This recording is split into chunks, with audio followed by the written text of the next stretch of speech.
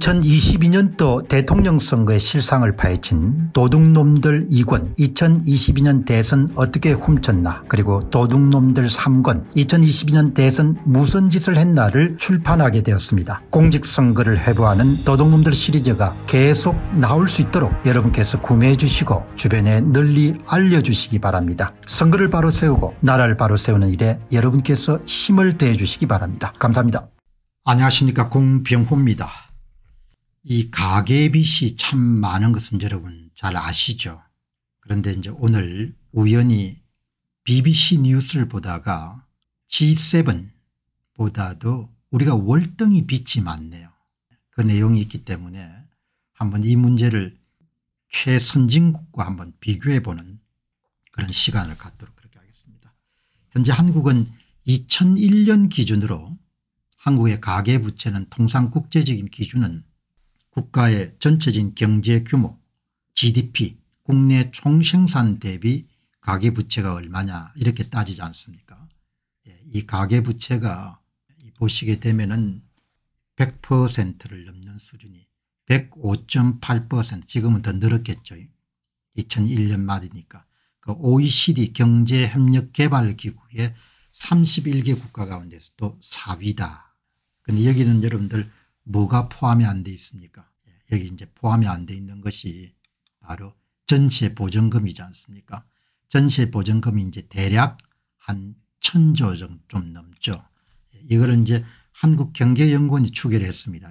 한국의 가계부채 전세 보전금을 포함 시에 소득 대비 국내 총생산 대비 경제협력개발기구 OECD 국가 가운데 단연코 1등이다. 전세 보전금 1058조 원을 감안한 총 가계부채는 3천조 원이 되고 이것은 국내 총생산 GDP의 156.8%로 경제협력개발기구 가운데 1위다. 여러분 그러니까 아주 이렇게 쉽게 이야기하게 되면 은 우리나라의 가계부채는 국제적으로 비교를 할 때 국내 총생산 한 나라의 경제규모인 GDP에서 몇 퍼센트를 차지하느냐 전체 보전금을 포함하지 않으면 대략 105에서 한 110%가 정도 되고 전세 보전금을 포함하게 되면 은 약 156.8이니까 뭐 160% 내외가 되는 거죠. 어마어마하게 높은 수치입니다. 그렇기 때문에 지금 이제 시간이 가면 갈수록 70대 분들이 일하는 숫자가 굉장히 늘어나고 있다. 이게 이제 오늘 한 신문에서 본 겁니다. 점점 늘어나는 70세 이상의 워킹 시니어 좀 쉬어야 될 나이인 거죠. 평생 동안 열심히 어렵게 살아왔으니까 전체 취업자 가운데 차지하는 비중이 70대 비중이 계속 늘어나는 겁니다. 2018년에 4.6%에서 2023년도에 6.6%까지 124만 명에서 187만 명으로 크게 이제 늘어난 겁니다.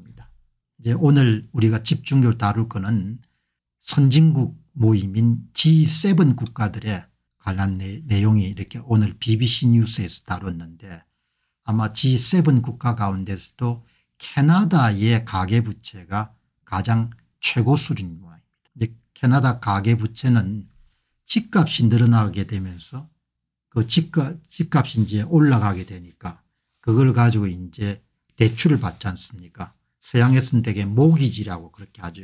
모기 대출금이 같이 올라가니까 캐나다 사람들이 짊어지는 그런 부채가 많아질 수밖에 없었다. 그런 내용을 다루네요. 어떻든 그 경제 저 G7 정상 국가들 가운데서 캐나다가 가장 빚이 높다는 겁니다. 그런데 이 빚이 많아지게 되면은 여기 나오지 않습니까? 캐나다의 이제 그 주택청에 계시는 한 분이 불행하게도 캐나다는 매우 높은 수준의 가계 부채를 갖고 있고 그리고 그 수준은 G7 어, 국가 중에서 가장 높은 수준이고 이제 그것은 경제를 취약하게 뭐 글로벌 위기가 발생했을 때 경제를 무척 취약하게 만드는 그런 상황이 됩니다. 캐나다의 가계 부채의 75%가 대개 이게 부채 그 집을 살 때 하는 모기지 부채다 이렇게 이야기 집값이 너무 많이 올랐네요. 이 여러분들 테이블이 아주 흥미있는 그런 테이블입니다. 여기를 보시게 되면은 여기 이제 G7 국가가 다 나옵니다. 캐나다, 영국, 그리고 미국, 일본, 프랑스, 예. 앞에 좀 짙은 책은 2010년 이 영국하고 미국은 2010년에 비해서 2021년 10년 사이에 빚을 상당히 많이 줄였습니다. 특히 미국이 많이 줄였네요. 빚이 늘어난 국가는 일본, 캐나다, 프랑스 이 정도고 이탈리아는 조금 늘었고 예, 독일은 좀 줄었고 줄어든 나라가 영국, 미국, 독일이네요. 늘어난 나라가 캐나다, 일본 그다음에 프랑스고 여기 보시게 되면 이렇게 좀 밝은 색이 2021년도 국내 총생산 대비 가계부채 수준이니까 한 105% 정도 되겠네요. 캐나다가. 그 다음에 영국이 한 85% 미국이 한 80% 내지 70대 후반 예, 이렇게 지금 돼 있네요. 그러니까 조금 전에 살펴본 바와 같이 한국이 전세 보증금을 포함했을 때 한 146에서 7%는 어마어마하게 높은 거죠. 전세 보증금을 제외하더라도 한 105% 정도 되니까 거의 G7 국가에서 가장 가계부채가 많은 캐나다 수준이 되는 것. 전세 보증금을 제외하면 그러나 실질적으로 전세 보증을 포함해야 되죠. 그게 이제 천조 정도 넘으니까 그렇게 되면 146% 정도 되는 겁니다. 국내 총생산 대비. 빚을 줄이기 위해서 좀 더 성장해야 되고 빚을 줄이기 위해서 노력을 많이 해야 되는데 뭐 우리나라 같은 경우도 빚이 크게 늘어나게 된 것은 전세 보증금에 대한 아주 그 관대한 그런 대출 정책하고 집값이 올랐기 때문이죠. 캐나다하고 비슷한 겁니다. 그 여기 보시게 되면은 원래 필요한 것이 좀 빠졌네요.